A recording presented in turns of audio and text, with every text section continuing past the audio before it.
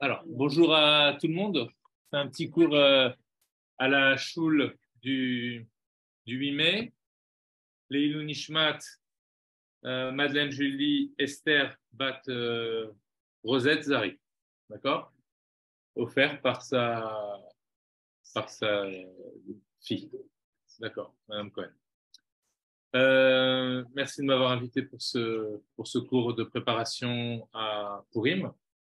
Donc, notre thème, c'est la notion de mémoire, de réminiscence dans la Megillah. On va essayer de, de montrer comment toute la Megillah, c'est une, une c'est une réminiscence, une mémoire de quelque chose et qui nous invite à nous projeter encore plus loin. Parce que vous savez qu'il y a la notion de mémoire, mais il y a aussi la notion de se projeter, d'aller de l'avant vers le futur. C'est pour ça que la Megillah, d'ailleurs, si on commence un petit peu par la fin, elle, euh, elle nous enjoint de faire des mitzvot et certains commandements qui, qui marquent, qui sont importants parce qu'ils euh, ils, inscrivent l'histoire dans la durée. D'accord? Ce n'est pas simplement une histoire du passé, mais ils inscrivent l'histoire dans la durée. Il y a d'ailleurs une, un commentaire du Baal Shem Tov à propos, vous savez, d'une halakha qui nous dit Akoret a Megillah le Mafrea, celui qui lit la Megillah dans le désordre. Donc imaginez-vous, euh, cas de figure, euh, vous arrivez à la synagogue, euh, euh, vous savez qu'il faut écouter toute la Megillah du premier mot au dernier mot et faire attention, il ne faut pas parler parce qu'il faut vraiment écouter tous les, tous les mots. D'accord? Donc imaginez-vous, vous arrivez à la, synagogue et le, rabbin a déjà commencé la lecture de la Megillah. Et donc, euh, vous vous dites, ben, j'ai loupé un chapitre, par exemple. Ben, Ce n'est pas grave, je réécouterai le chapitre que je n'ai pas écouté à la deuxième lecture. Souvent, euh, il y a une deuxième lecture qui est organisée. Alors, est-ce que ce cas de figure marcherait? Est-ce que j'aurais le droit? Après tout, finalement, l'un dans l'autre, j'aurais écouté tous les mots. Et donc, la halakha nous dit non, parce que la Megillah, c'est quelque chose qui doit se lire dans un certain ordre. Les événements se produisent dans un certain ordre, il faut se les remémorer dans cet ordre-là, c'est vraiment très précis. Alors sur ce, ça c'est le sens premier, mais le Rabbi Israël Baal Tov, le grand maître de, la Chassidoute, le premier maître de la Chassidoute, nous dit celui qui lit la Megillah, l'emafrea, l'emafrea, ça veut dire, alors on a, on a dit, ça signifie dans le désordre, mais lui, il commente, il dit dans le désordre, c'est-à-dire en la pensant non pas comme une actualité, mais comme quelque chose du passé. C'est-à-dire que il considère que le passé, que c'est quelque chose, celui qui lirait la Megillah en considérant que c'est un événement qui est inscrit définitivement dans le passé et qui n'a pas d'actualité, eh bien, ne serait pas acquitté de sa lecture. Alors, quand on dit ne serait pas acquitté, ça ne voudrait pas dire que d'un point de vue halachique, il ne serait pas acquitté, mais ça veut dire que d'un point de vue du sens profond de la Megillah, il passerait à côté de quelque chose. Parce que la Megillah, c'est quelque chose qu'il faut entendre dans le présent, ainsi que toutes les mitzvot, mais on va dire que ça se, ça se pense particulièrement avec la Megillah. On voit ça aussi par rapport à la, sortie d'Égypte. On doit considérer chaque jour comme étant le jour de notre sortie d'Égypte. C'est-à-dire que chaque jour, on a un, une possibilité de s'extraire de l'état dans lequel on était auparavant. Ça, c'est spécifique à la sortie d'Égypte. Bien entendu, la Megillah, nous prépare aussi, puisque même si c'est arrivé après la sortie d'Égypte et longtemps après, elle nous prépare quand même, puisque dans le calendrier, euh, le dernier mois de l'année, c'est le mois de Hadar, et puis ensuite on enchaîne sur le mois de Nissan. Donc ça veut dire que en Hadar, on lit la Megillah, et en Nissan, un mois après, vraiment un mois après, on est dans la sortie d'Égypte. Donc il y a forcément aussi un lien entre les deux. Alors, ce Shabbat-là, sera Shabbat Zachor. C'est le Shabbat juste avant Purim. ok? Shabbat Zachor, c'est-à-dire qu'on va lire avant, euh, après la Torah, après la lecture de la Torah traditionnelle, chaque semaine par Savé, on va lire euh, aussi un petit passage qui est celui de la lecture de. C'est dans tout ça. Euh, c'est dans. De quoi Sur Amalek Oui. C'est dans, euh, dans Yitro, il me semble. Pas? Non, mais c'est dans le petit ça, c'est extrait d'une paracha. Non, c'est pas qui dit ça. C'est un passage qui parle de. Oui, il me semble que c'est la fin de Béchalar. Oui, Béchalar, Béchalar, Béchalar. Non, c'est pas qui dit ça. Béchalar. À la fin de la paracha de Béchalar, on voit que, oui, parce que c'est justement c'est la, après la sortie d'Égypte. donc, il y a un passage qui traite donc de l'attaque de Amalek, donc, fin, de paracha de Béchalar. Donc, avant Yitro, en fait. Euh, donc, les bénéficiaires sont sortis d'Égypte et euh, après cela, il y a un peuple qui va s'attaquer au peuple juif, qui est le peuple de Amalek. Et ce peuple, ce peuple-là, donc, va euh, oser, oser euh, s'en prendre au peuple juif, alors même que ils viennent de sortir d'Égypte, que Dieu leur a ouvert la mer, et donc que Dieu a dévoilé ce qu'il était, ce qu'on appelle dans son essence, qu'il était en lui-même, comme on dit dans, la Megillah, je vous ai libéré, non pas par un ange, non pas par un messager, mais c'est moi-même. ok Donc, quand Dieu se révèle tel qu'il est lui-même à la sortie d'Égypte, et ensuite dans Parashat dans ma- au moment de- du don de la Torah, eh bien, personne ne peut faire face à ça. D'accord? C'est un, un dévoilement qui s'impose à l'existence. Donc, personne ne peut venir et dire Moi, je m'oppose au dévoilement de l'essence de Dieu. Donc, quand Amalek vient et combat le peuple juif, alors, alors même qu'il savait que, euh, que Dieu s'était dévoilé, dévoilé au peuple juif pendant la, pendant la sortie d'Égypte, ça veut dire que son ego est d'une catégorie à part. C'est-à-dire qu'il est tellement enfermé dans son existence, il est tellement fier de ce qu'il est, qu'il n'y a plus du tout de, connexion et de possibilité de retour pour se reconnecter avec le divin. C'est vraiment l'opposition, c'est l'audace la euh, la plus négative qui soit. D'accord? C'est même pas de l'audace, parce que l'audace, en réalité, c'est un terme positif, être audacieux. D'accord? Oser, oser avancer. Là, c'est vraiment ce qu'on pourrait appeler la chutzpah, c'est-à-dire euh, la l'effronterie. D'accord? C'est-à-dire l'effronterie qui vient d'un orgueil démesuré. D'accord? C'est pour cette raison que Dieu nous dit, ben, cet euh, homme-là, Amalek, et ce peuple-là, ne peut pas vivre parmi les hommes, il est un danger dans l'humanité. Ok? Il peut, euh, si on le laisse faire, il détruit tout. Ok? Il s'en prend au peuple juif et ensuite il s'en prend à toute l'humanité. C'est quelqu'un qui détruit tout jusqu'à peut-être après même s'auto-détruire. D'accord?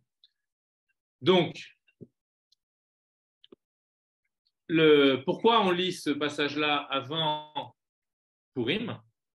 Parce qu'en fait, il y a une filiation qui est connue entre Amalek et Aman.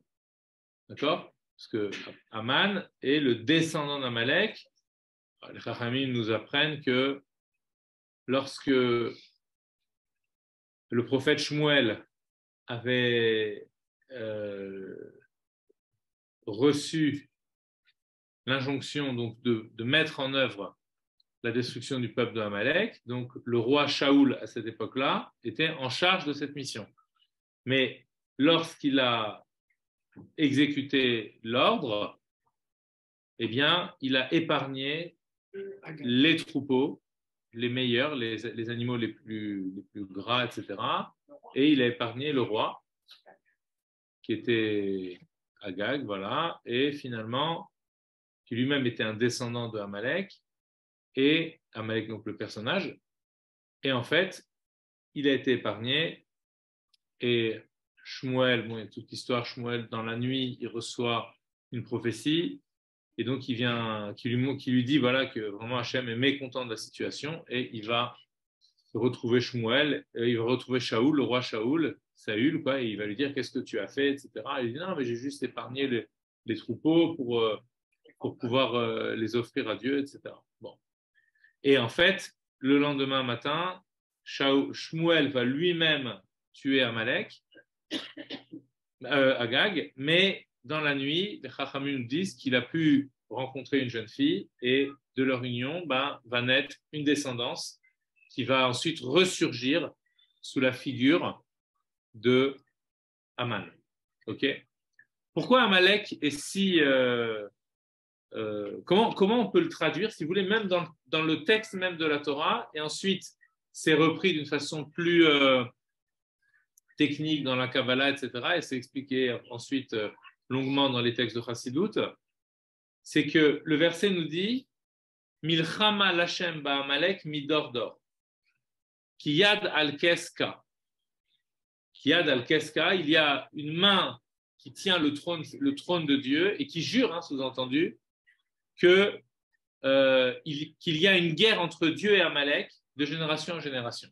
Cette guerre-là, c'est la guerre entre l'ego et le divin en réalité. L'ego euh, poussé à son paroxysme et le divin qui veut se dévoiler. Et la, la, Kabbalah nous dit, bah, en fait, ici, il se passe quelque chose dans le verset. Le verset dit Yad, la Yad al-Keska. Donc, Kes, ça signifie le trône de Dieu. Il y a une main qui jure sur le trône de Dieu, qui tient le trône de Dieu en jurant. On s'entend la main d'Hachem qui tient le trône de Dieu. Mais les kabbalistes nous disent regardez, le mot Kes signifie recouvrir. Les chassot, ça signifie recouvrir. OK? Et euh, Ka, Yudke, c'est l'un des noms de Dieu. Mais ce nom de Dieu, en fait, en lui-même, c'est un nom, mais, mais, il est en même temps la moitié d'un autre nom, puisqu'on a le nom Yud suivi d'un E, suivi d'un Vav, et encore suivi d'un E, Yud Ke Vav Ke, et Yud et He, finalement, les, deux premières lettres, Yad Al-Kes Yud Ke, le Yud Ke, en fait, c'est un nom de Dieu, mais qui serait comme recouvert et qui ne pourrait pas s'exprimer complètement et devenir Yud Ke Vav Ke. Comme s'il y avait quelque chose qui retenait le Yud Ke de passer dans le Vav Ke. Vous voyez l'idée ou pas? Il aurait fallu faire un petit schéma. Ça aurait été plus simple. Vous imaginez verticalement les quatre lettres du nom de Dieu, le, ce qu'on appelle le tétragramme. C'est juste des lettres, mais en fait, ça dit une tension dans les lettres. les lettres disent une tension une tension d'âme, si vous voulez, ou, plutôt, euh, on va dire, euh, une, une, tension dans un sens et quelque chose qui retient cette tension. D'accord? Qu'est-ce qui retient cette tension? Ben, C'est Amalek, justement. Alors, Yud et E, ça représente quoi dans la, dans la, dans la, dans la, Kabbale Ça représente la dimension intellectuelle. D'accord? Et Vav et He, ça représente la dimension des émotions. Ok Pas rentrer dans le détails pourquoi c'est comme ça, mais juste pour retenir l'idée. Donc, ce qui voudrait dire que, en principe, lorsque l'intelligence comprend quelque chose, elle doit se déployer ensuite dans les sentiments, puisqu'on va aimer.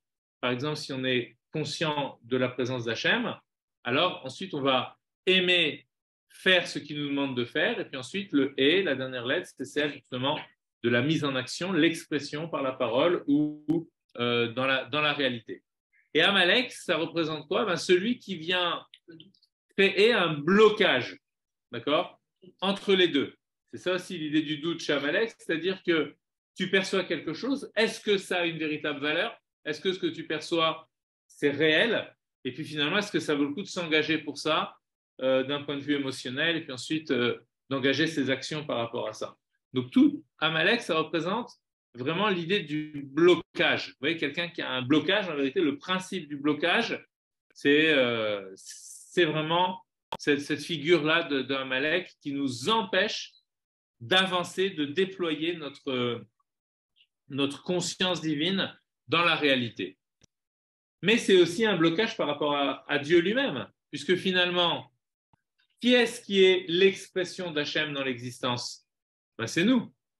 Donc, en nous bloquant, il bloque l'expression d'Hachem.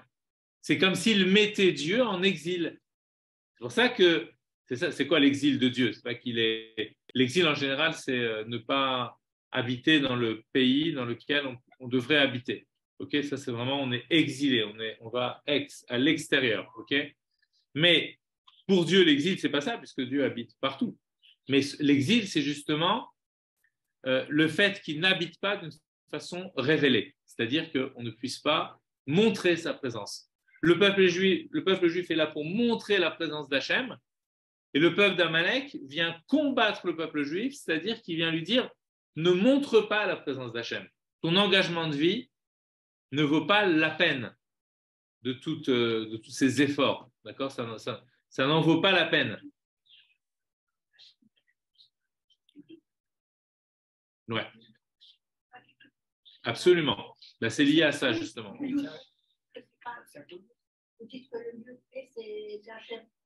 Oui.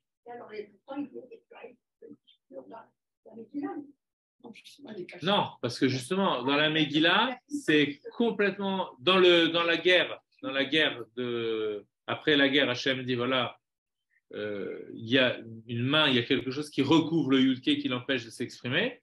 Mais c'est vrai que dans la Megillah, il n'y a même pas l'expression du Yudke, il n'y a plus rien. D'accord? Donc c'est quelque part, d'après ce que vous dites, on peut aller encore plus loin. C'est-à-dire que c'est vraiment le degré d'obscurcissement au moment de la Megillah, il est vraiment, euh, il, est, il est total. D'accord? Alors, on a parlé d'Amalek, mais maintenant on va parler de son descendant, d'accord, qui est Aman. Alors, Aman, lui aussi, c'est vraiment, on commence à entrer euh, dans la Megillah.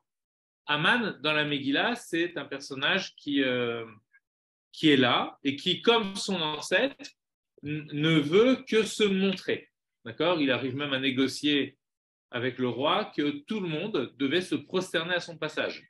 Donc, ça veut dire qu'on a vraiment affaire à quelqu'un qui est euh, tellement imbu de lui-même que son but, c'est vraiment d'écraser tout le monde. Et là, euh, bah, il fait la même chose que euh, qu'avait fait son ancêtre. C'est-à-dire que son ancêtre avait voulu combattre le peuple juif. eh bien, lui aussi, quand il voit que Mordechai ne se prosterne pas devant lui, alors il décide de s'en prendre, non pas simplement à Mordechai, mais à tout le peuple juif. On pourrait se demander, si on essaie de rentrer dans sa logique, en vérité, rentrer dans sa logique, c'est ce qui va nous permettre de mieux comprendre qui nous sommes. On peut se demander, mais si c'est un personnage qui l'embête, pourquoi ne s'en prend-il pas qu'à lui? Vous voyez, dans la logique, s'il y a une personne qui me fait du mal, je ne vais pas m'en prendre euh, à tout son peuple. Pourquoi devoir euh, s'en prendre au peuple Vous voyez ce que je veux dire? Si j'ai un problème avec un, je ne sais pas si je fais des affaires et puis que j'ai un problème avec un, japonais, je ne vais pas dire tous les japonais sont malhonnêtes. Vous voyez ce que je veux dire euh, Il y a des malhonnêtes chez les japonais, chez les chinois, chez les arabes, chez les juifs aussi, il y en a. Euh, il y en a partout. Donc je ne vais pas dire c'est parce que cette personne m'a roulé dans les affaires que tout son peuple euh, est un peuple de roublards, etc. etc. C'est vraiment vous voyez, c'est généralisé d'une façon euh, injurieuse, même par rapport aux valeurs certainement de, ce peuple-là. Et c'est souvent une personne qui ne va pas représenter euh, son peuple. Donc là, il dit, voilà, il y a une personne qui ne veut, pas, veut pas se prosterner devant moi. Qu'est-ce que je fais moi? J'extermine tout son peuple. C'est, oh, calme-toi. Hein. Et personne euh, ne dit non, quand il va, quand il va présenter son projet au roi, etc. Aucun problème. Pourquoi? En fait, pourquoi Mordechai ne se prosterne pas? Si je vous pose la question, qu'est-ce que vous pensez de Mordechai? C'est quelqu'un d'orgueilleux, c'est quelqu'un de fier, c'est quelqu'un d'humble, c'est quelqu'un comment? Qu'est-ce que vous pensez euh, de la figure de Mordechai? Figure héroïque.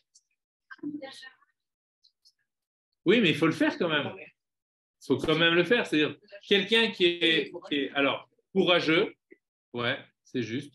Je peux dire vraiment, il a, du, il a, du courage, il a de l'audace. Alors, il est humble, mais d'un autre côté, c'est vrai que nous, on est convaincus qu'il est humble. Mais ce qui apparaît de lui dans la Megillah, il y a des, il y a des passages d'humilité. Par exemple, il est capable de prendre euh, des vêtements de silice, vous savez, euh, comme de la. C'est le. Descendre. Oui, mais descendre, mais le vêtement, oui, comme imaginez-vous quelqu'un, un, un notable qui s'habillerait en, en toile euh, de l'étoile de Jude, vous savez, les, les, les choses avec les, les tissus avec lesquels on fait les, les gros sachets de pommes de terre, etc. Vous voyez, j'ai quelqu'un qui s'habillerait comme ça. Donc, il faut vraiment oser le faire. Vous voyez, ça râpe, etc. Donc là, ça montre une très grande forme d'humilité. Mais ce qui apparaît ce qui apparaît en premier lieu, c'est sa fierté. C'est quelqu'un qui dit non, ben moi, ou Mordechai, le verset nous le dit, ou Mordechai lo velo. Mordechai ne plie pas et ne se prosterne pas. Il ne courbe pas les genoux, il ne plie pas les genoux et il ne se prosterne pas de son long. Ok? Mordechai, c'est un homme qui ne se prosterne pas. Donc, hein, qui tout le monde se prosterne. Tout, il, Aman passe sur son cheval, ça, hop, et tout le monde se prosterne. Et lui, maintenant, lui, reste là, fier. OK, il est là, il ne se prosterne pas. Qu'est-ce que c'est que cette fierté? Et c'est ça qu'il faut analyser.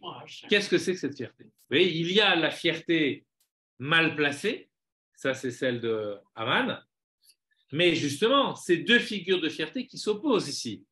C'est quoi la fierté de Mordechai? C'est une fierté qui n'est justement pas la fierté de l'ego. Parce que ce qui l'anime au plus profond de lui-même, ce n'est pas lui, c'est pas le moi. Vous voyez ce que je veux dire? Pas comme on dit parfois, euh, il y a cette notion-là, euh, on va dire, d'estime de soi. Mais lui, j'ai une estime de moi, mais je n'ai même pas de moi. C'est quoi le moi C'est quoi le moi qui est en moi? C'est le moi de tout mon peuple. Vous voyez? C'est le moi divin. C'est pas le moi personnel, individuel qui ne pense qu'à lui, qui est comme une bulle qui serait refermée sur, sur elle-même. Aman, en fait, c'est un petit peu comme euh, celui qui serait dans une immense bulle, qui serait, euh, quelle image on pourrait donner? Qui serait une bulle en miroir. C'est-à-dire qu'en fait, quand il est au centre de la bulle, et partout où il regarde, en fait, il se voit lui. Vous voyez, c'est partout, il regarde, ah, moi, moi, moi, moi, etc. Et puis, il n'est pas content. Ce qu'il veut, c'est quoi? C'est sa bulle, elle n'est jamais assez, assez grosse, assez volumineuse. Donc, il veut, il veut la, la faire grande, la gonfler, vous voyez, comme un ballon de baudruche. En réalité, c'est vide à l'intérieur. Et un jour, ça, ça finit par éclater. Mais c'est ça la figure de, de, de, d'Am- de- d'Aman. C'est cette bulle-là, cette, cette dimension d'être un but de soi-même, un bulle de soi-même, je sais pas, un but de soi-même, et ça grandit, ça grandit, ça, ça grossit comme ça. Et Mordechai, il a une bulle lui aussi, mais qui est complètement transparente. C'est même pas une bulle. Même sa bulle, on peut passer à travers. Vous voyez, c'est, c'est poreux. C'est... Quand on le voit, on ne ressent pas l'orgueil. On ressent que sa fierté renvoie vers celui qui le fait exister. Esther aussi. C'est la grâce d'Esther, elle se joue aussi dans cette dimension-là. Exactement, ça signifie caché. Ça veut dire que Esther, c'est celle qui, euh, qui, qui n'est même pas fière de sa beauté. Vous voyez? Elle est belle, mais j'imagine qu'elle ne passe pas son temps à se regarder dans le miroir, justement. Parce qu'elle a une beauté, et même sa beauté, ça n'est pas, euh, comment dirais-je, quel- quelque chose de simplement physique. C'est comme si quelque chose irradiait au travers de son corps qui va faire que les gens vont vouloir la regarder, mais pour qu'il se dégage d'elle. Ouais, il y a quelque chose de cet ordre-là, effectivement. Ça. Donc ça veut dire que les personnages de la sainteté dans la Megillah, d'accord, Aman, euh, euh, Mordechai et Esther, sont deux figures du rayonnement divin et donc du rappel du divin.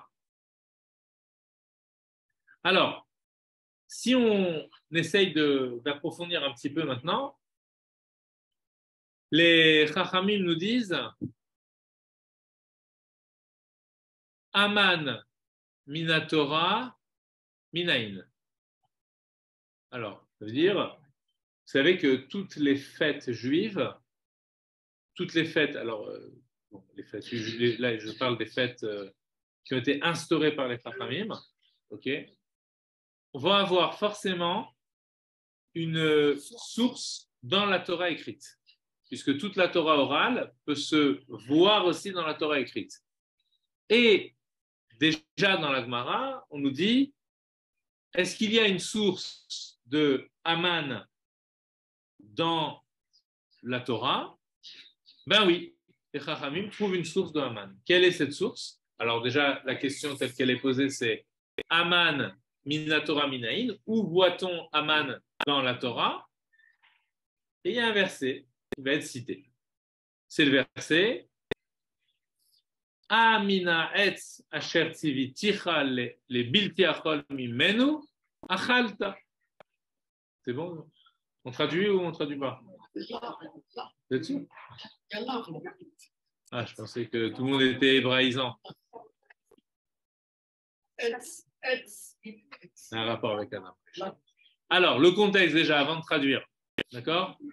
Le contexte, c'est quoi? Le contexte, c'est Adam Arishon qui a consommé le fruit de la connaissance. D'accord? Consomme du fruit de la connaissance. Dieu lui avait dit, tu ne devras pas consommer le fruit de la connaissance. Et lui, par le biais de Chava, bah, finalement, il consomme le fruit de la connaissance. À la suite de ça, ben, il est dans le jardin, toujours dans le jardin d'Éden, et il se cache. Et là, Dieu s'adresse à lui et lui dit Où es-tu?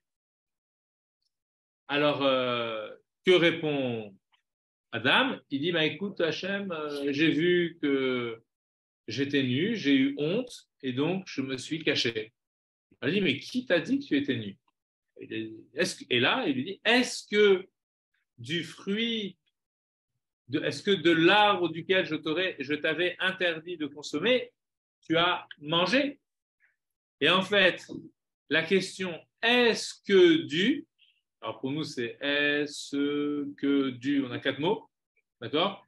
Avec des, des petits tirets, des, hein des traits d'union, voilà, merci, cherchez le mot, euh, l'expression.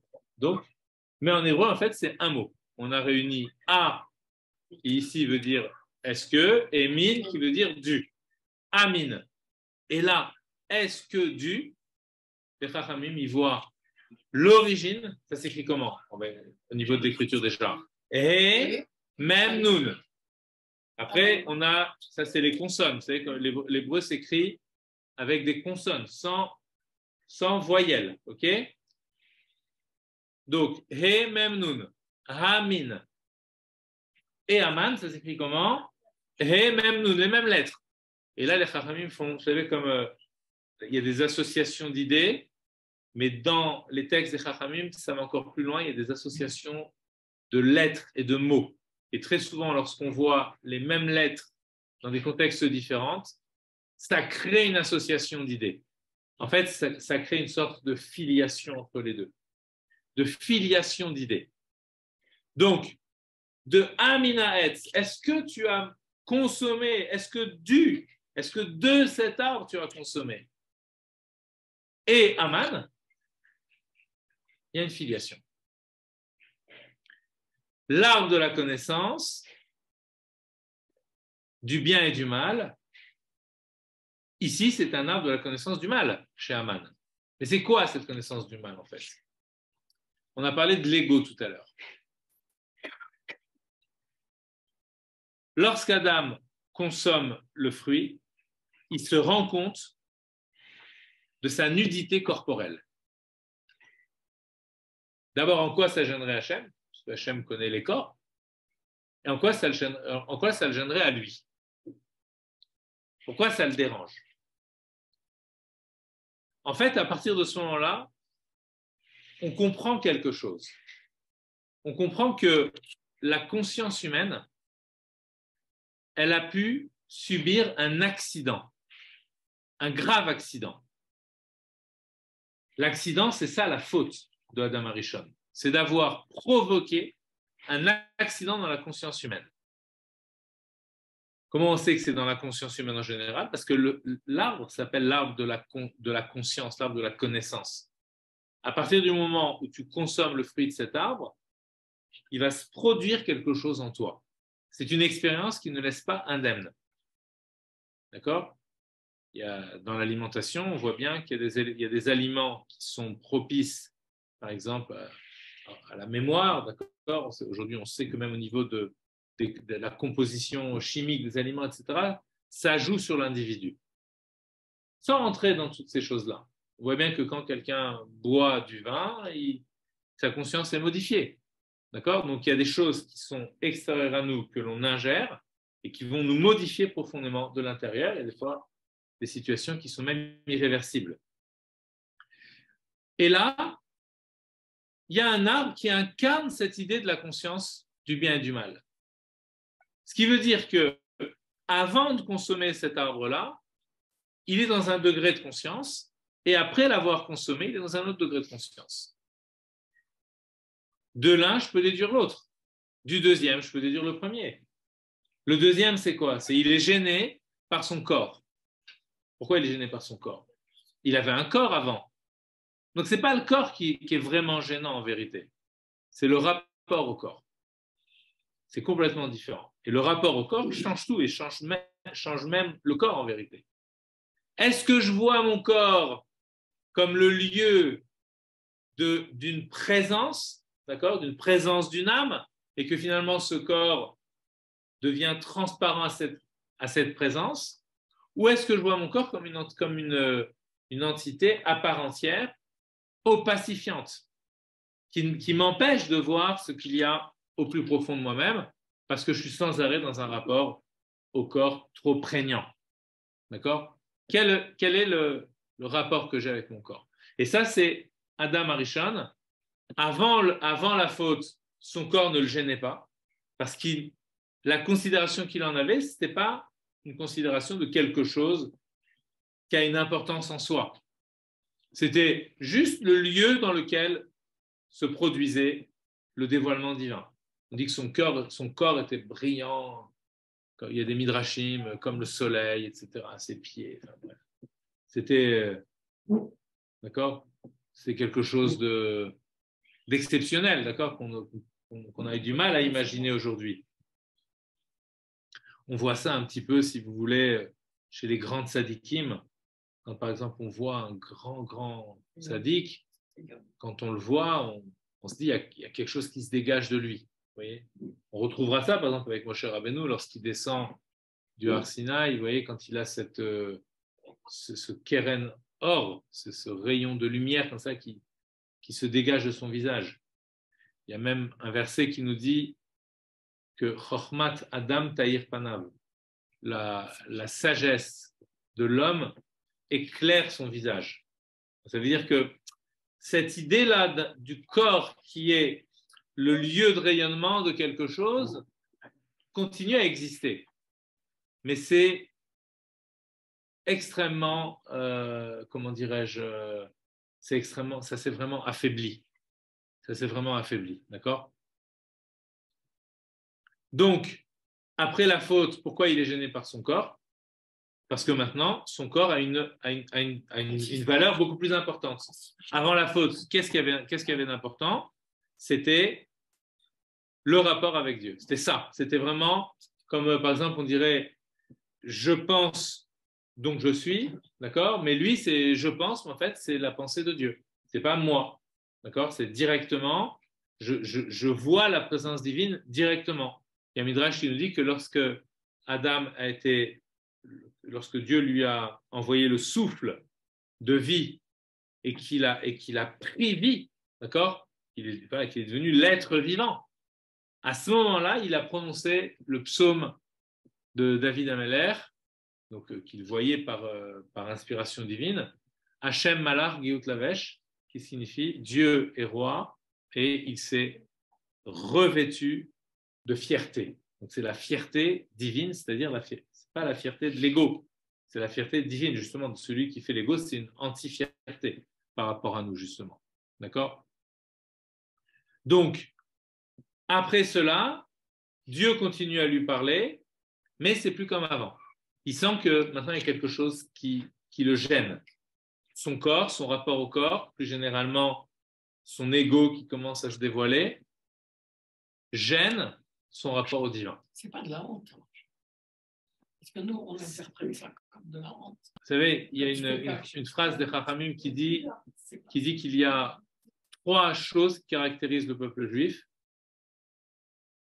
Et l'une des trois, c'est la Baïchanout. D'accord? Il y a Baïchanim, Rahmanim, Gomlech Hasanim. Baïchanim, ça signifie qu'ils sont euh, timides, qu'ils ont honte. Rahmanim, qu'ils ont de la, de la compassion.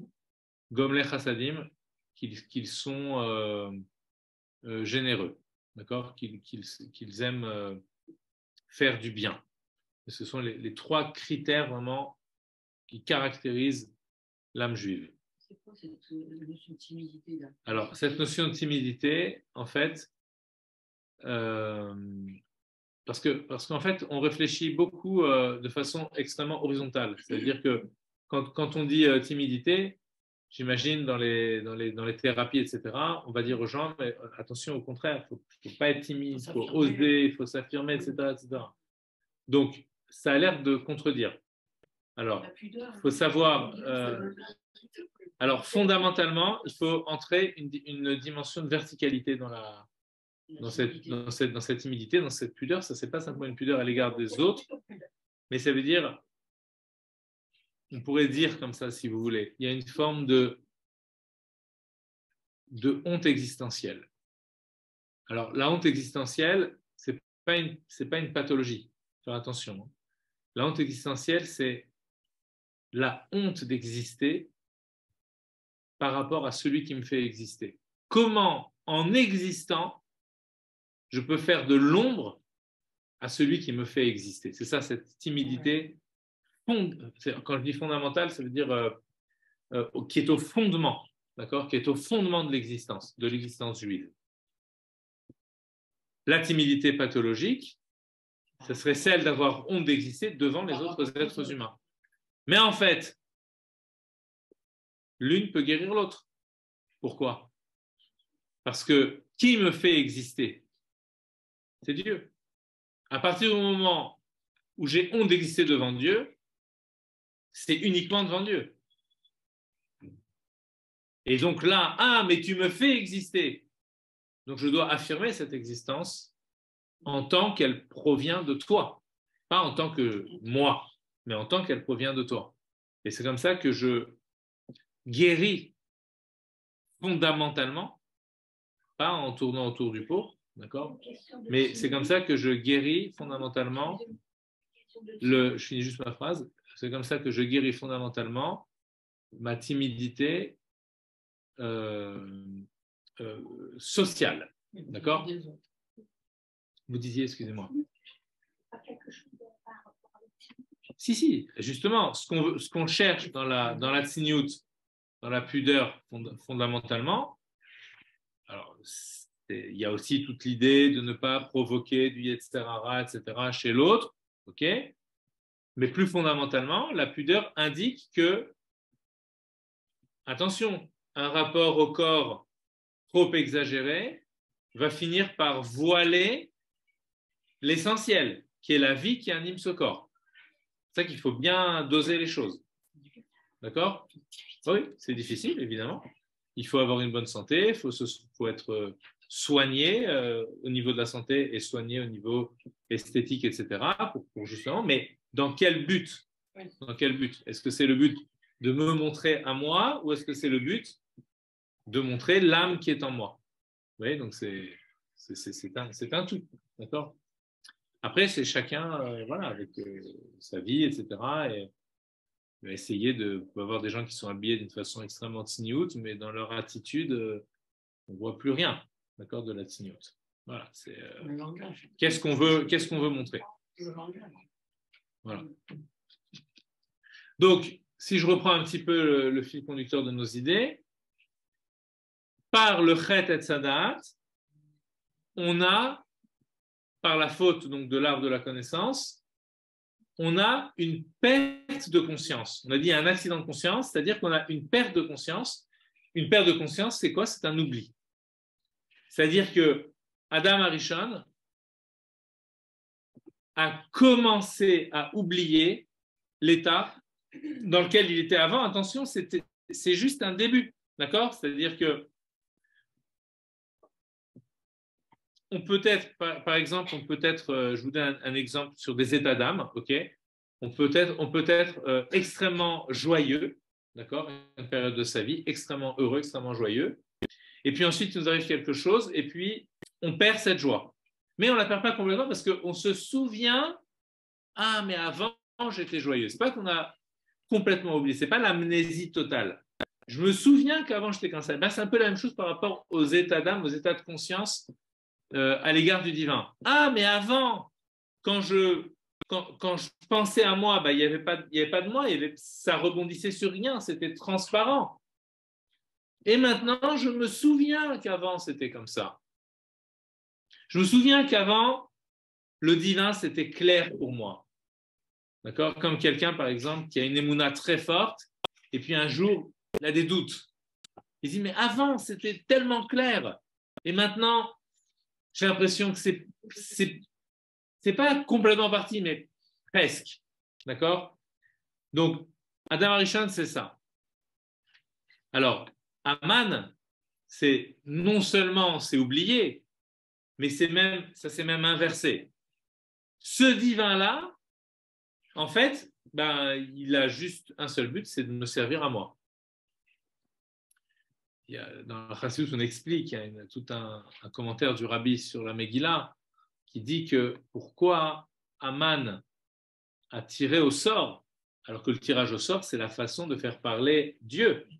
Pourquoi il tire au sort Alors que, au contraire, il veut, mettre les béné Israël en porte-à-faux avec Dieu. Il tire au sort. C'est quoi, quoi, son idée de tirer au sort? Tout un développement. Le rabbi fait, c'est vraiment quelque chose de très très intéressant. Mais l'idée qui ressort, c'est que Aman veut faire une captation du divin pour, à son profit. Il veut, alors, parce qu'en général, on veut attirer le divin vers soi. C'est ça le but. C'est-à-dire, c'est la même chose que les bénis Israël. On veut attirer le divin vers soi. Mais là, c'est à son profit. C'est-à-dire que ce qu'il veut, c'est prendre cette dimension infinie du divin et la projeter sur son ego. Vous savez, un petit peu, ça rappelle aussi, c'est vraiment, ça fait écho avec toute l'histoire de Maaseh Bereshit cette histoire-là de, la Megillah. Parce que là, ici, ça fait écho à quelque chose, un verset qui est un petit peu énigmatique. Il dit que après cette histoire-là de, de, la consommation du fruit, donc de l'arbre de la connaissance, Dieu va chasser Adam Arishon du, du Gan. Pourquoi? Parce qu'il y avait aussi dans le Gan Eden l'arbre de la vie. Bah, très bien qu'il aille prendre l'arbre de la vie, ça le guérirait en vérité. Non, il ne faut pas qu'il touche à l'arbre de la vie. Parce qu'il pourrait vivre éternellement à ce moment-là. En fait, qu'est-ce que ça veut dire? C'est quoi l'idée? L'éternité, on peut l'avoir aussi comme une forme d'intensité. Vous voyez, c'est d'infini, mais en intensité. Donc le danger ici, c'est que maintenant que tu as connu ton ego, et que donc tu es en prise avec cette notion de tentation, d'être d'aller vers le bien ou de pouvoir aller vers le mal, eh bien, tu, goûtes à l'arbre de la, de la vie et que tu fasses passer. Merci beaucoup. Tu fasses passer cette euh, puissance de vie Merci beaucoup. Merci beaucoup. On risque de se brûler. Merci beaucoup. Et donc, que pareil, c'est-à-dire que c'est la même idée, que tu fasses une captation de la vie, donc sous, sa forme un petit peu d'éternité, quantitativement ou, euh, ou, en, ou, en, intensité, et que finalement, elle, elle serve de, de, puissance qui fera gonfler le mal qui est en toi. Donc, ce n'est pas ça l'objectif de la création. Donc, pour l'instant, il ne faut pas que tu sois en contact avec l'arbre de la vie. Avant d'être en contact avec l'arbre de la vie, tu as des choses à réparer en toi. Et ensuite, cet arbre de la vie se manifestera. C'est ça le don de la Torah. Le don de la Torah, c'est retrouver l'arbre de la vie. D'accord? C'est-à-dire, c'est le moment où la conscience de soi et de, l'ego et du corps ne gêne plus, la conscience de Dieu. En vérité, l'aboutissement parfait de, cette paix entre la, conscience divine et la conscience du corps, et donc de l'ego, c'est l'époque messianique. D'accord? Oui. Pardon, ah non, monsieur, si vous inquiétez pas. J'en profite pour, euh, pour faire la bracha. C'est ce qu'ils auraient dû faire avant, de toucher de la vie. C'est ce que Hachem attendait.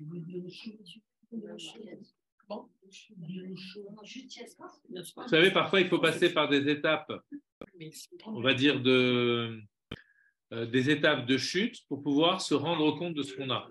D'accord? Parce que finalement, avant ça, on peut dire qu'il y était un peu dans l'arbre de la vie, avant de, avant de, de, consommer l'arbre de la connaissance. Donc, il était un petit peu dans l'arbre de la vie. D'accord? Mais il y était sans s'en rendre compte. Vous voyez, c'est comme si on, vit dans un état, c'est ça l'avantage quelque part, c'est ça l'avantage de la faute. Adam Arishon, parce qu'il y a forcément, il y a toujours, dans chaque chose négative, il y a forcément un côté positif. Donc l'avantage de la faute d'Adam Arishon, c'est que justement, l'émergence de la conscience de soi s'est faite, d'accord? Il y a eu cette émergence, et maintenant que cette, que cette conscience, elle est, elle est vraiment euh, mise en évidence, alors elle va pouvoir aussi re, rejouer le fil conducteur de la conscience originelle. Maintenant, elle peut se rendre compte, ah, mais avant, c'était comme ça. Donc, donc, maintenant, il me manque quelque chose. Alors après, il faudra faire un effort très, très important pour que cette conscience se connecte avec quelque chose de beaucoup plus haut pour pouvoir guérir. C'est ça le don de la Torah. D'accord? Mais ça se fait justement parce qu'il y a une prise de conscience de, ah, ben, il me manquait quelque chose avant. Il me, il me, il me manque quelque chose par rapport à la situation d'avant. Donc ensuite, à partir d'Abraham Avinu, euh, la conscience de Dieu, le vécu divin, commence à revenir sur terre. D'accord? Alors. Vous avez dit sur le rabbi le commentaire de la, de la. Je, après, je me suis un peu perdu. Euh, oui, alors oui, ça veut dire que le rabbi, c'est ce qu'il explique justement. Après, j'ai fait un parallèle avec le avec l'arbre de la connaissance et l'arbre de la vie. D'accord? Mais le rabbi, lui, ce qu'il dit, c'est que, que Aman, en faisant euh, ce tirage au sort, fait intervenir une force divine. Premièrement, ça je ne l'ai pas dit tout à l'heure, mais pour comprendre un petit peu comment ça se construit dans la Megillah. Premièrement, pour forcer Dieu à, accepter son, choix à lui, Parce qu'il aurait pu le faire sans Goral. Donc, euh, quelque part, en faisant le Goral, bah, il force Dieu à dire bah, tu signes. Tu vois Comme s'il ne laissait pas le choix à Dieu de signer. Et deuxièmement, pour capter la puissance divine à son propre profit pour faire gonfler son ego. Les deux sont, les deux sont liés. Oui, bien sûr.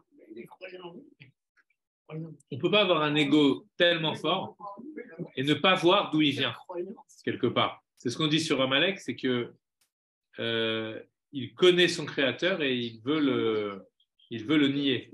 D'accord Sur Nimrod aussi. Voilà. Donc il sait, il sait d'où vient la force, il a vu. Comme Yitro, Yitro a vu que c'était une force divine. Amalek aussi a vu. Mais ce sont deux regards justement euh, sur le même événement, où un regard va être celui d'Yitro qui va justement arranger son âme, parce qu'il y a une sincérité, et un regard, à partir du même événement, c'est deux regards qui se, qui se, on va dire, euh, qui divergent complètement. Et Amalek, qui est le regard de la, euh, justement, bah, ah, tu as fait ça, ben moi je suis capable d'aller à l'encontre. Donc il veut durcir son ego à ce point-là. Alors que l'un rend son ego transparent, l'autre au contraire l'opacifie et l'endurcit euh, davantage. D'accord? C'est ce qu'on va retrouver, évidemment. Alors, on revient par rapport à Aman. C'est exactement ce qu'il essaye de faire. C'est-à-dire que pendant toute la Megillah, il endurcit son ego et il fait office justement euh, d'opacité par rapport à Mordechai, qui va lui au contraire essayer de montrer euh, le divin. Maintenant, en réalité, il y a la figure de, de Haman, personnage de la Megillah.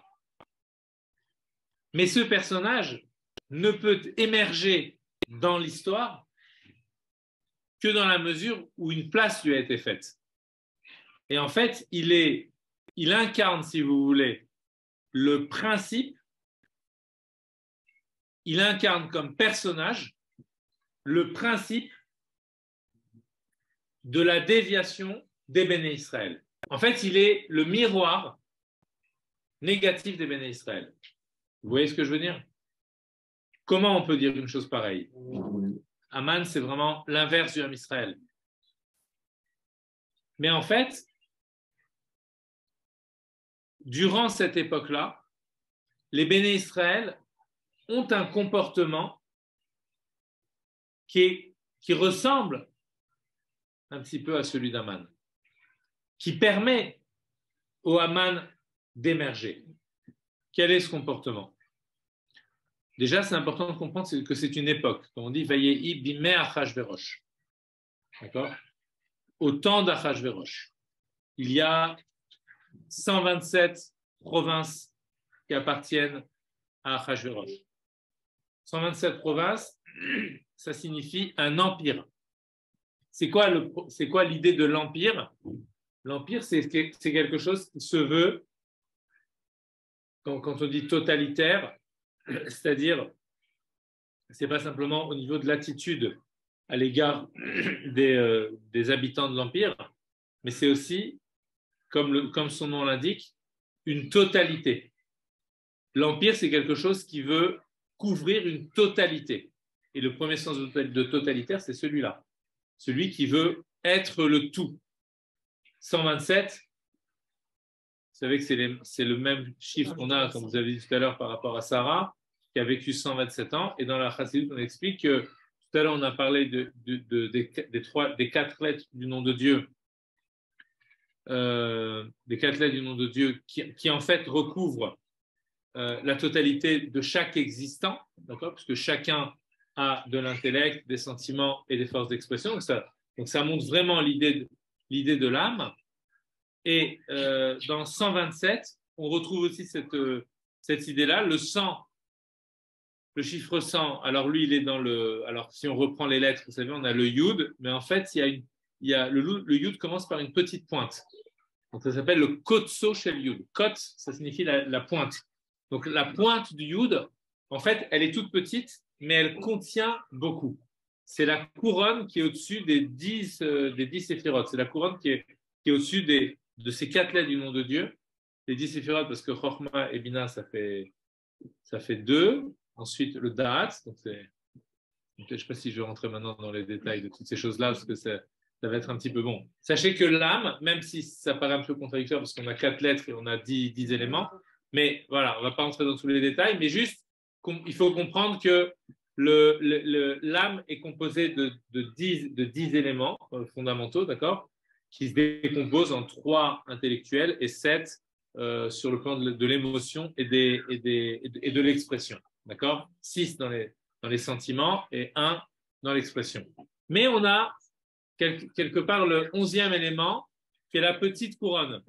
Et à ce niveau-là, en fait, on ne va pas compter de la même façon. Ça va être multiplié par 10. Donc, c'est 1, mais en fait, euh, ou, même euh, chaque élément va être multiplié par 2, ça va être 100. OK?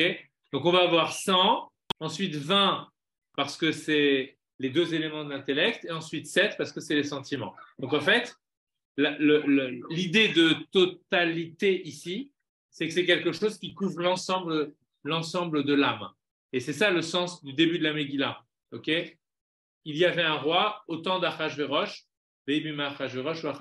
Amolech c'est celui qui brille dans l'obscurité comme dans la lumière, qui brille partout, qui occupe la totalité des 127 provinces au niveau de l'âme, c'est-à-dire celui qui occupe la, la totalité de l'âme. Et dès le début, on voit que les bénistrels vont au festin. Et en fait, c'est ça qu'on va leur reprocher. D'aller au festin, pas dans le sens de participer au festin, mais dans le sens de l'acceptation de, cette, de ce totalitarisme. C'est-à-dire l'acceptation qu'il y a un homme ici qui recouvre la totalité de l'existence et de, et de laquelle ma subsistance dépend.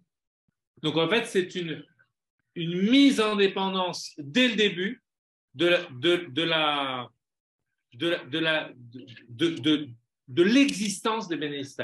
Ils se mettent en dépendance à l'égard d'une figure qui est la figure d'Achashverosh. Et qui naît à ce moment-là? Celui qui est vraiment dépendant d'Achashverosh, mais qui en même temps manipule les choses, bah, c'est Aman. D'accord? Aman va émerger après ça. Je ne dis pas qu'il est né mais ça veut dire. L'idée, ça veut dire. dans l'idée, on fait, on fait naître, on donne, on, donne, on donne place à cette possibilité d'un ennemi. C'est comme si, en, se comportant de cette façon-là, on crée l'âme de cet homme-là. Vous voyez? C'est un petit peu ça, c'est un petit peu ça l'idée. Et c'est vraiment la même idée qu'à l'époque de, de Adam Arishon, c'est-à-dire que la conscience, elle est globalement, la conscience, elle est centrée sur la subsistance matérielle. Et, elle a l'impression que toute la subsistance matérielle dépend d'un seul homme qui est Achashverosh. Et c'est pour ça qu'ils vont être ensuite attaqués sur le côté corporel. Vous voyez? Ce Aman, Amina Etz. Est-ce ah, tu sens ta nudité, c'est-à-dire tu sens, tu sens la gêne dans le, dans le corps. C'est-à-dire que tu vois plus que le corps vit par Dieu. Donc tu es gêné, il te manque quelque chose. Et Aman, c'est quoi? Aminaetz. Est-ce que tu as consommé de cet arbre-là qui, te, qui, qui, donne une prégnance au corps, je veux dire, euh, sur un, trop, importante D'accord? Une valeur trop importante. Oui, tu le réactives à ce moment-là durant cette période-là. Tu vas au festin tu, manges du festin. Ça veut dire que tu te nourris de la main d'Achashverosh. Tu penses que c'est Achashverosh qui, qui, qui subvient à tes besoins. Tu ne vois plus à quel point ça vient de Dieu. C'est ça le, le, vrai problème de la Megillah.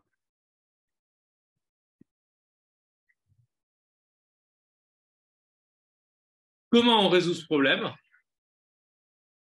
Par le retour de mémoire. Qui va réactiver la mémoire?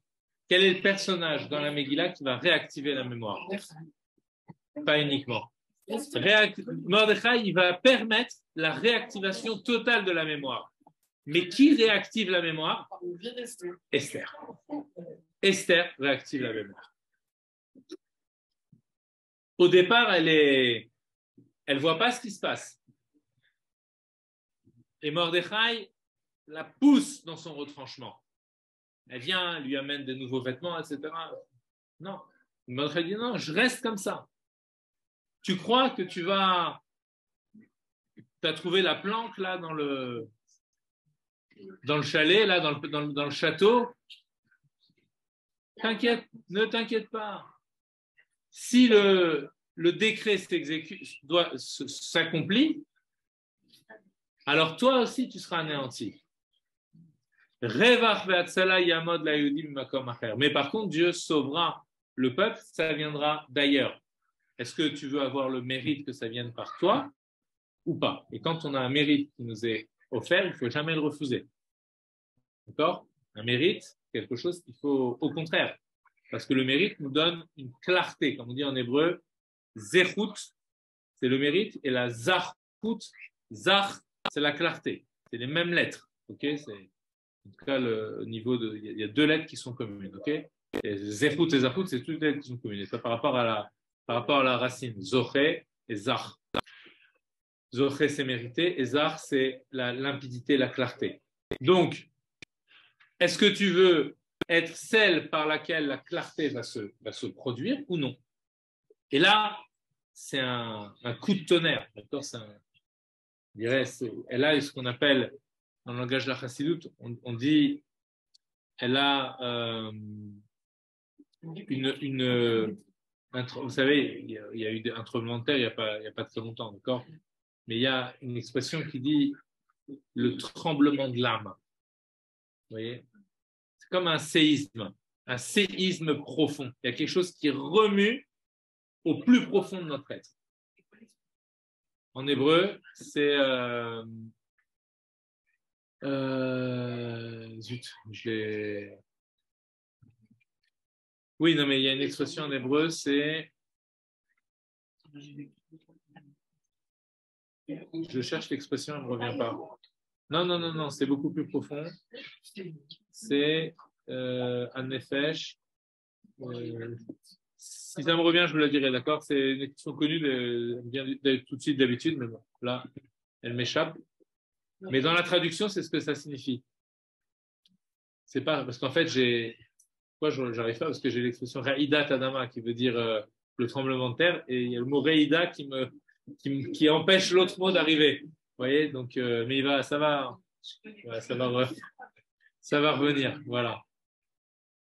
Euh, ah, ça y est. Azazat anefesh. Azazat anefesh. Azaz, parce que zaz signifie bouger. La zouze, bouger, comme la mezouza. La zouze, bouger, ok donc, Azazat Anefesh, ça veut dire le tremblement de l'âme. J'aime bien le traduire comme ça. D'accord? Comme on parle d'un tremblement de terre, voilà, un tremblement d'âme. Voilà. Et là, ça lui fait à, à, Esther la réaction de, de, de, de, de Mordechai, ça lui produit un tremblement d'âme, un séisme de magnitude 10. Vous voyez Un séisme très profond.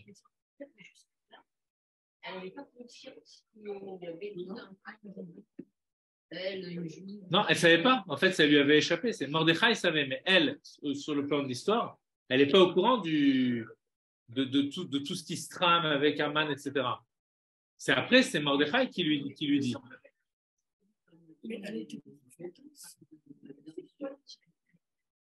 Ça, très certainement.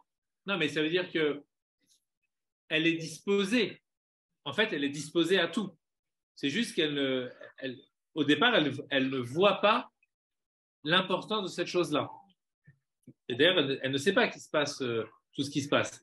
Quand Mordechai lui apprend, elle ne se rend pas encore compte du rôle qu'elle doit avoir.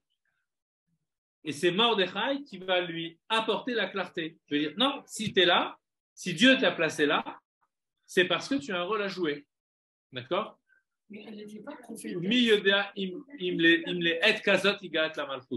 Et qui sait si ce n'est pas pour ce moment-là que tu es, que tu es parvenu à la royauté? Donc, c'est-à-dire qu'à ce moment-là, elle a, elle a vraiment un, bouleversement. Et dès qu'elle prend conscience, on voit qu'il y a aussi un renversement, Mordechai, de, un renversement du rôle entre, de Mordechai à Esther. C'est vraiment messianique. Comme on dit que quand le Mashiach viendra, ce sont les, femmes qui seront à un niveau supérieur aux hommes. Et pour l'instant, la femme, elle, est, elle, est, dans un niveau de, de, réceptivité, voilà, Et finalement, quand Mashiach vient, c'est la, racine, la source profonde des hommes qui viennent justement de cette couronne dont on parlait tout à l'heure. On n'a pas trop développé sur le, sens de la couronne, mais le verset dit la femme Echet Traïl, à Teret Bala, la femme vertueuse, est la couronne de son mari. La couronne, c'est là où on a la volonté, là où on a le désir. Donc en réalité, si l'homme euh, a un rôle de mashpia, c'est-à-dire qu'il il, il, il, donne il donne l'influx à sa, à sa femme, ça c'est l'aspect externe, mais conscient. Mais dans, l'inconscient, c'est la femme a une influence sur le sur l'homme, qui est encore beaucoup plus forte puisque elle est vraiment elle peut, elle peut être, euh, elle peut générer toute sa, son, euh, son, désir, sa volonté, etc., d'amener le divin dans la réalité. Donc, à partir du moment où Mordechai lui dit, bah, tu sais, maintenant, euh, tout est entre tes mains. C'est la responsabilité de tout le Ham Israël et sur tes épaules. Alors, à ce moment-là, la, situation s'inverse. Qu'est-ce qu'elle fait? C'est elle qui va donner les ordres. Jusqu'à présent, c'était Mordechai qui donnait les ordres. Et à partir sans, même dire attention, maintenant c'est moi chef. Hein, ça se fait, mais naturellement, automatiquement. Et Mordechai, il reçoit les ordres, il dit pas c'est moi chef. Là, c'est là qu'on voit aussi l'humilité. Attention, tu ne donnes pas d'ordre. Pas du tout. C'est vraiment, on fait quoi maintenant? Maintenant, c'est toi le chef. On fait quoi? Ah, ben, tu vas réunir tous les enfants, etc. Vous allez prier. Moi, je vais jeûner pendant trois jours. Mais, mais euh, les jeunes filles qui sont avec moi vont aussi jeûner pendant trois jours, etc. Et toi, tu vas demander à Israël de faire pareil. Pourquoi cette notion de jeûne à ce moment-là? Ça devrait faire tilt, en principe, le rapport au corps. C'est-à-dire qu'à ce moment-là, il y a un changement dans le... Elle, elle demande un changement dans le rapport au corps et que ce changement-là, il soit effectif, qui dure pendant trois jours. C'est une phrase à casse, c'est vraiment l'idée de quelque chose qui s'est complètement confirmé, affirmé. L'idée de trois. Une fois, deux fois, trois fois. Donc, à partir de ce moment-là, le rapport au corps commence à changer. C'est-à-dire que les bénéficiaires se rendent compte que notre corps ne tient pas par lui-même. Il tient parce qu'il y a une âme qui fait vivre et qui sait, qui, qui, est vraiment, qui fait la jonction entre l'âme et le corps. Comme la Norazaken dit que la chose la plus incompréhensible de toute l'existence, c'est pas les étoiles, les confins, etc., l'infini, etc. C'est même, même pas l'infini qui est, qui est, le plus, euh, le plus euh, difficile à accepter, le plus extraordinaire. C'est vraiment le mot. Vous allez voir pourquoi tout de suite. Le plus extraordinaire, c'est la jonction entre l'âme et le corps. C'est vraiment faire se rejoindre la, dimension de l'infini avec la dimension du fini. Dans la bracha, refait Kol Bassar, celui qui guérit toute chair, mais qui fait encore plus que cela. Mafli la asot, Mafli la asot, qui agit de façon extraordinaire. Vous avez, utilisé le mot extraordinaire. Le Morazakan dit, le Balatania, Rabbi Zalman, il dit c'est quoi Mafli la asot? C'est la jonction entre l'âme et le corps. Il agit par merveille, ce qui est sublime au-delà des, limites. C'est cette jonction entre l'âme et le corps. Mafli la asot. Et là, à partir du moment où on leur demande de jeûner, on leur demande d'aller mettre en évidence que tout vient de Dieu, que l'âme et le corps, tout ça, ça vient d'Akadosh Baruch Donc, c'est une façon de se détourner, mais c'est une vraie guérison. il y a quelque chose de nouveau qui naît en eux. Hein, ils avaient fait naître, entre guillemets, Aman. Maintenant, ils vont faire naître la délivrance. À partir de ce moment-là, les choses vont s'inverser. Euh, durant la nuit, en fait, là, on raconte l'histoire que vous connaissez toutes, mais juste, on la, on la raconte à la lumière de ces principes-là de réminiscence, de se souvenir, d'accord, que ce qui fait exister, c'est le divin, etc. Et l'histoire, on peut la lire, on peut croire qu'il s'agit d'un joli scénario, d'accord Mais en fait, quand on la met en lumière avec justement cette, cette idée de, ce rapport au corps, de ce, rapport au divin qui doit être restitué, etc., de ce, retour de mémoire, c'est la même histoire qu'on lit, mais là, elle devient présente comme disait le Baal au début, du cours, il ne faut, faut pas la lire comme si c'était quelque chose de passé, mais c'est quelque chose qui se produit maintenant, parce qu'en réalité, chaque seconde, on est confronté à ces problèmes-là de rapport à la corporalité.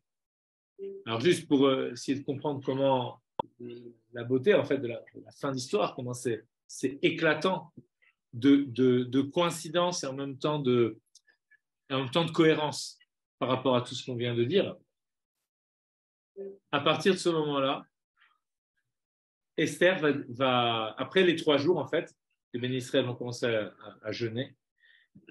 Et ensuite, elle va voir le roi. Et dans la nuit,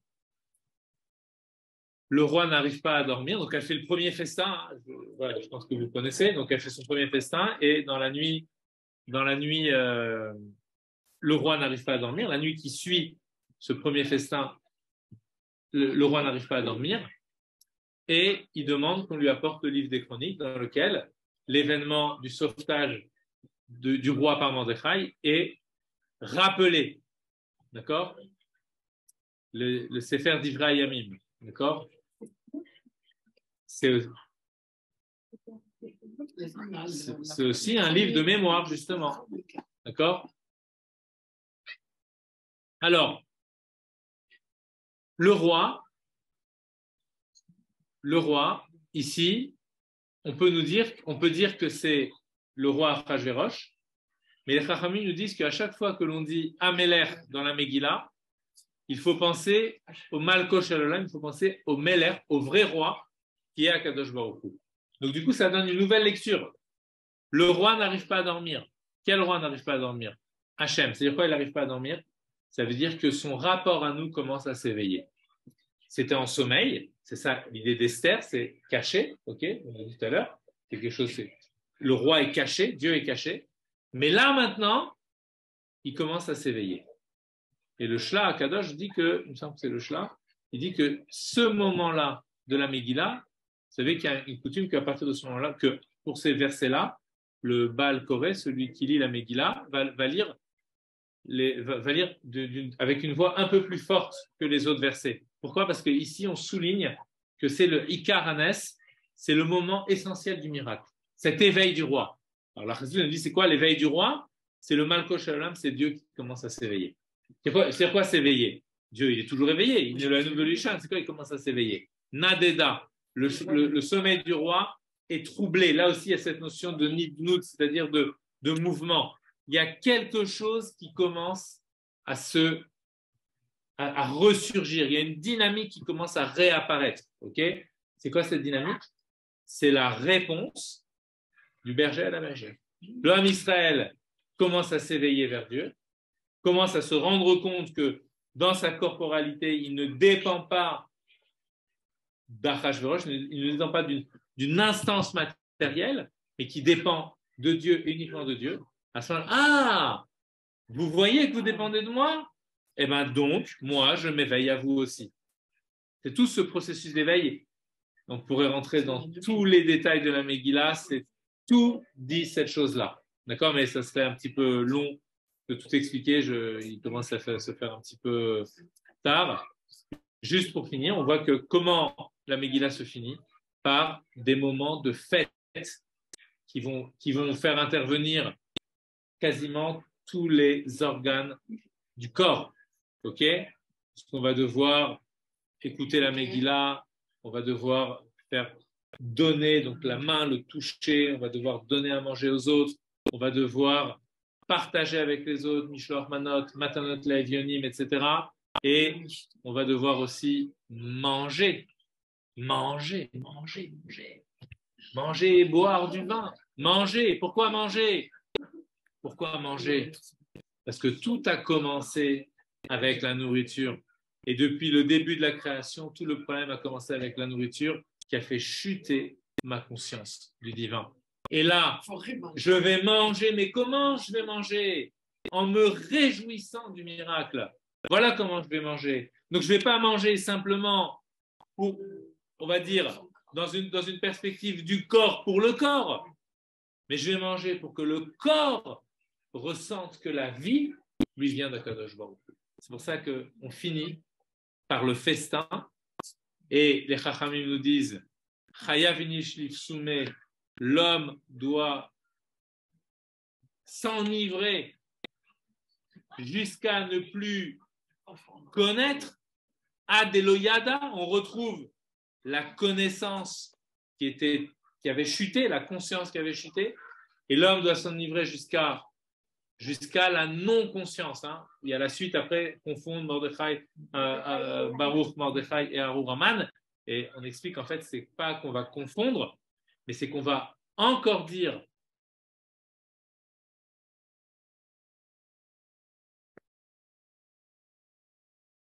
Je reprends la suite du cours. En fait, il y a eu une petite coupure. Euh, le portable était plus chargé, donc voilà. Je, reprends l'idée en fait, hein, d'accord? Euh, Donc, on était en train de parler de cette mitzvah, de mitzvah tinish Vepuria. Euh, l'homme a une, un devoir de se de s'enivrer à Purim jusqu'à ne plus faire la distinction entre euh, béni soit Mordechai et maudit soit Aman. En fait, ce qu'on est en train de dire ce matin, c'est que euh, cette euh, non-distinction a de déloyada jusqu'à qu'ils ne connaissent plus. donc ça fait référence donc, non pas au fait de confondre véritablement, parce qu'il ne s'agit pas de confondre le bien avec le mal, ou l'homme mauvais avec l'homme bon, bien entendu. Il s'agit simplement de dire que le choix que je fais pour le bien est un choix qui dépasse mon entendement. C'est un choix qui est vraiment, qui provient du plus profond de mon être. Et c'est dans ces conditions-là que je choisis, que je choisis euh, de dire Baruch Mordechai, bien entendu. Euh, l'idée, si on va un petit peu plus loin de, de Ad Deloyada, euh, en fait, ici, on entend vraiment l'idée de ne pas connaître. Or, tout le problème donc, duquel on a parlé euh, au début du cours, c'était un problème de la connaissance, puisque l'homme a fauté dans sa connaissance, il a, il a, il a chuté, d'accord? Il y a eu une crise de la conscience qui est passée d'une conscience translucide, une conscience ouverte sur le divin, à une conscience de soi opaque et ouvrant sur l'égocentrisme. Sur eh bien justement, la, réparation de cette, de cette chose-là, c'est de parvenir à une forme de non-connaissance. Puisqu'en réalité, quand on se tourne vers la notion de connaissance de Dieu, on dit que le but de la connaissance, c'est de savoir que l'on ne sait pas. Alors, euh, le, plus grand, enfin le premier des philosophes, euh, Socrate euh, disait une phrase comme ça Tout ce que je sais, c'est que je ne sais pas. Mais lui, il appliquait ça au domaine de la, de la connaissance des sciences, si vous voulez, des choses du monde. Mais là, c'est pas de ça qu'on est en train de parler. On parle de la connaissance de Dieu. Quand on veut s'approfondir dans la connaissance de Dieu, eh bien, plus on avance dans la connaissance, plus on se rend compte qu'on ne le connaît pas. Et finalement, le but de la connaissance, c'est de se rendre compte qu'on ne connaît pas. Plus on connaît de choses sur Dieu, et plus on se rend compte que on est encore très loin de la connaissance de Dieu. Ce qui veut dire que la connaissance d'Hachem, objectivement parlant, c'est la connaissance d'une non-connaissance. À partir du moment où je sais que je ne sais pas, c'est que je suis déjà dans le, je suis déjà dans la connaissance et même de façon euh, objective. C'est pas que je ne sais pas, c'est puisque là je sais que je ne sais pas. Donc du coup il y a vraiment une forme de connaissance euh, objective. Et c'est cette idée-là que l'on retrouve au travers de Purim. Dieu dépasse le corps, Dieu dépasse l'âme, et donc pour pouvoir retrouver cette chose-là, il faut, il faut atteindre un degré de dépassement de la, de, la connaissance objective, de savoir que l'on ne sait pas. Alors, il y a la, connaissance, on va dire, euh, le fait que l'on se nourrisse d'aliments qui sont même solides, etc. On mange des bonnes choses à Purim, des mets. Donc, on donne à notre corps la possibilité de, de se réjouir de quelque chose, mais en même temps, il y a cette idée de l'enivrement. Euh, alors, l'enivrement, on peut, on peut le produire euh, simplement par une forme de, méditation, d'étude, des choses comme ça.